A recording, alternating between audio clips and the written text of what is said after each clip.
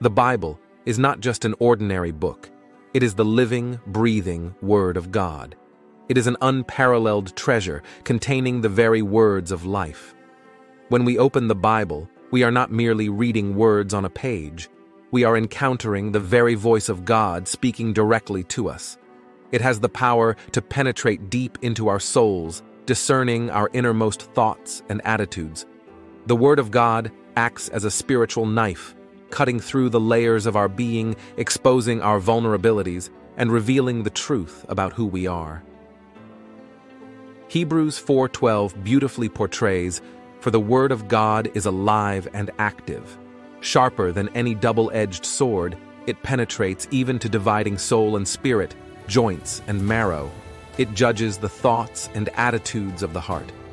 Moreover, the Bible has the power to convict, comfort, and challenge us. It provides guidance and direction for every aspect of our lives, offering wisdom and insight beyond human understanding. As we immerse ourselves in its pages, we are drawn into a deeper relationship with God, experiencing His presence and receiving His grace. One of the incredible aspects of the Bible is that it was authored by the Holy Spirit. This means that to truly grasp its meaning, we need the Holy Spirit's guidance. Unlike ordinary books, the Bible is spiritual in nature, requiring a special understanding that comes from the Holy Spirit. It's through the Holy Spirit that we can connect with and comprehend the deep spiritual truths contained within its pages. Now, today, I want to look at three different striking Bible verses that are extremely thought-provoking in 1 John chapter 5 verse 11 and 12, it says, "And this is the testimony that God has given us eternal life, and this life is in his Son. He who has the Son has life. He who does not have the Son of God does not have life." Now, let that sink in for a moment. Think about what this means for us. It's not just a mere statement, it's a testimony, a declaration of truth that should shake us to our core. You see, God, in His boundless love and mercy, has given us something truly precious eternal life. It's a gift beyond measure, freely offered to us through His Son, Jesus Christ. It's not just a promise for the future, it's a present reality. Right here, right now, we can experience the fullness of life in Jesus. It's a life filled with purpose, meaning, and joy that transcends any circumstance or trial we may face. Now, let me ask you this Do you have the Son? Have you welcomed Jesus into your life, allowing him to be your Savior and Lord? Because those who have the Son have life, abundant, everlasting life that nothing in this world can take away. My friend, have you ever felt like something is holding you back from truly experiencing the abundant life that Jesus promises? Maybe it's the weight of temptation, the allure of worldly desires, or the grip of past mistakes that seem to haunt you. Whatever it may be, know that you're not alone. In 1 Corinthians chapter 10 verse 13, we're reminded that the temptations we face are common to humanity. They're not unique to us. Others have walked similar paths. But here's the key God is faithful. He won't allow these temptations to overwhelm us beyond what we can bear. Isn't that reassuring? Even in our weakest moments, God's faithfulness remains steadfast. Now, let's talk about what these temptations look like in our lives. Perhaps it's the temptation to prioritize worldly pursuits over seeking God's kingdom first.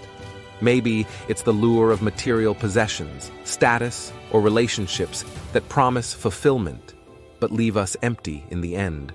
Or it could be the subtle whispers of doubt and fear that shake our confidence in God's goodness and provision.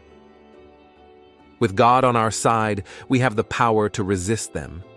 He promises to provide a way out, a path to victory even in the midst of temptation. So when you find yourself at a crossroads, torn between the desires of the flesh and the call of God, remember his promise. He will show you a way out so that you can endure. My friend, If you haven't yet received Jesus into your heart, if you're still living apart from him, then I urge you to consider this solemn reality. Without the Son of God, there is no life. It's a stark truth, but one that we can't afford to ignore. Deuteronomy chapter 30 verse 19 says, I call heaven and earth as witnesses today against you, that I have set before you life and death, blessing and cursing. Therefore choose life, that both you and your descendants may live. God lays out before us two paths, one leading to life and blessing, the other to death and cursing. Every day, we stand at the crossroads of choice, with heaven and earth as witnesses to our decisions.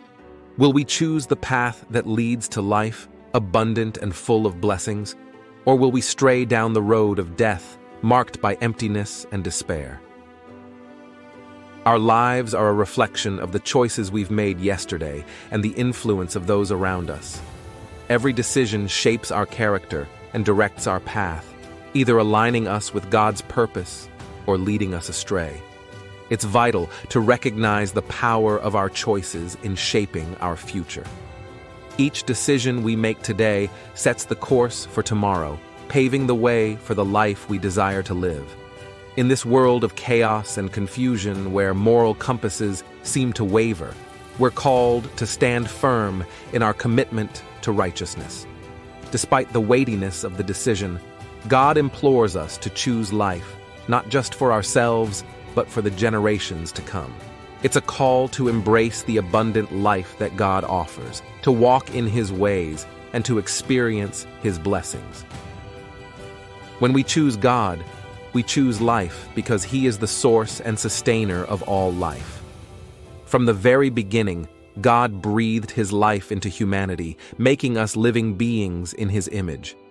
Recognizing that our lives are a precious gift from Him, our highest purpose becomes living in accordance with His will.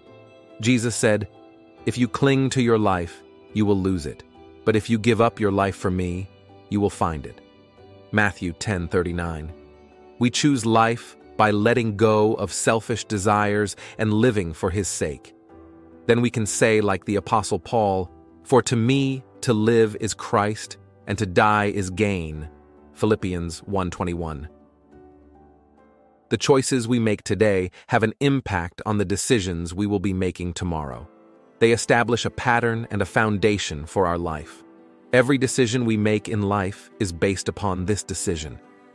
Today, as we stand at the crossroads of choice, let's choose wisely. To choose the Lord is to choose life. Let's heed the call to righteousness, embracing the divine purpose for which we were created. Let's allow the light of God's Word to illuminate our path, guiding us through the darkness and uncertainty of this world. Galatians chapter 2, verse 20 speaks to a profound transformation that occurs within those who follow Christ. It says, I have been crucified with Christ. It is no longer I who live, but Christ lives in me.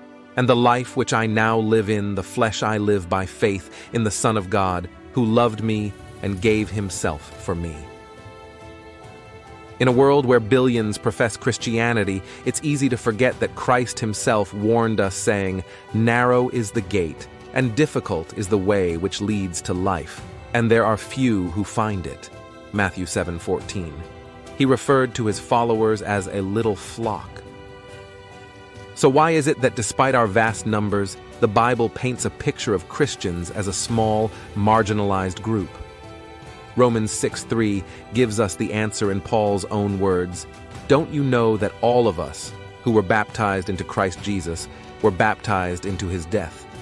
When a truly repentant believer decides to be baptized, he or she is symbolically baptized into Christ's death.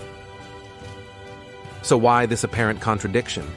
It lies in the essence of what it truly means to follow Christ. Baptism into his death signifies a symbolic burial of our old selves, the sinful nature that once defined us. Just as Christ bore our sins and died as a payment for our deserved penalty, we too must crucify everything that characterized our sinful lifestyle. When Paul declares, I have been crucified, he's affirming that his sinful self has died with Christ.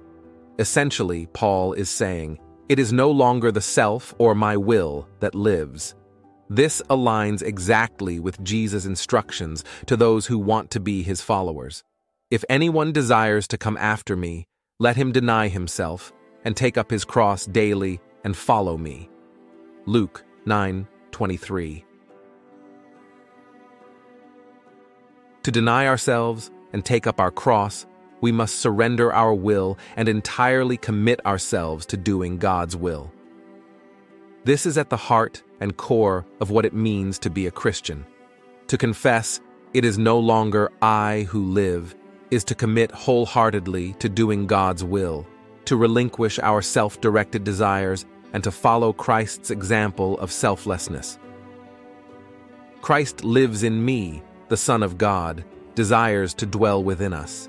He lives within us in order to change us from the inside out. We are transformed through His Spirit dwelling within us. This isn't about control, but rather about transformation. When Jesus spoke of living within His followers, He spoke of a deep, intimate relationship through the Holy Spirit. The Holy Spirit is the key to having the mind of Christ within us. Through repentance, baptism, and the laying on of hands, we receive the Spirit, enabling us to think, act, and speak in alignment with Christ. As we yield to His Spirit, we gain access to His guidance, leadership, and direction. Our journey becomes a reflection of His as we strive to imitate Him in every aspect of our lives. Just as Christ lived in Paul, so Christ lives in every one of his true followers. 1 John 3:24. And the life which I now live in the flesh, I live by faith in the Son of God. We remain in the flesh even after repentance and baptism. That means we are still physical. We still have a life to live, things to do, and decisions to make. But we strive to walk by a different standard now. The faith we need is the faith of the Son of God, the very faith that Christ had. Living by everything Christ did and taught encompasses abiding by the laws of God. This is not a burden, but a privilege, for in obedience to God's laws, we find true freedom and fulfillment. And I love that last part that it says, He loved me and gave Himself for me. So I live by faith. Christ's sacrificial death on the cross stands as the pinnacle of love, surpassing any human understanding. His willingness to give himself for us demonstrates the depth of God's love, a love that knows no bounds, no conditions. It is this love that compels us to live differently, to walk in the footsteps of Christ, and to share his love with others. As we embrace his teachings and emulate his example, we become vessels of his grace and agents of his redemption in a world desperate for hope. What is keeping us away from such an incredible sacrifice just for us to embrace eternal life? Our sufferings, our desires, count for nothing when we truly understand the depth of love that God has for us. In the face of God's boundless love, our temporary trials and fleeting pleasures pale in comparison. Let us not be swayed by the transient allure of this world, but instead fix our gaze on the eternal promises of God. Every soul longs for purpose, for meaning, for fulfillment. Yet, true satisfaction can only be found in Christ, who offers us abundant life and eternal joy. It is time to cast aside our doubts, our fears, and our earthly attachments, and to wholeheartedly embrace the life that God has ordained for us. Let us step boldly into the light of God's love knowing that He has called us by name and destined us for greatness. With His love as our guide and His grace as our strength, there is nothing that can stand in the way of the glorious future that awaits us. Embrace the life of abundance and purpose that God has prepared for you and experience the fullness of His love that surpasses all understanding. God bless you. By subscribing, You become a vital part of our mission to spread the word of God and uplift countless lives. Join us in making a positive impact. Hit that subscribe button now.